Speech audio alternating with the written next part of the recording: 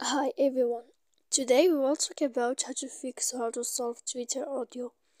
To know how to fix or how to solve Twitter audio, you should just go to settings like this, you will click.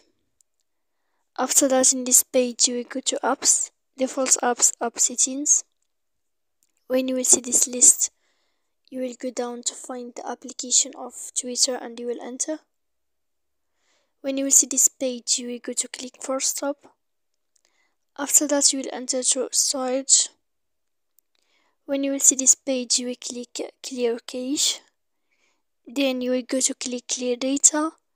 And after all that, when you will end this, you can turn off your Wi-Fi. So please don't forget to support us by like and subscribe.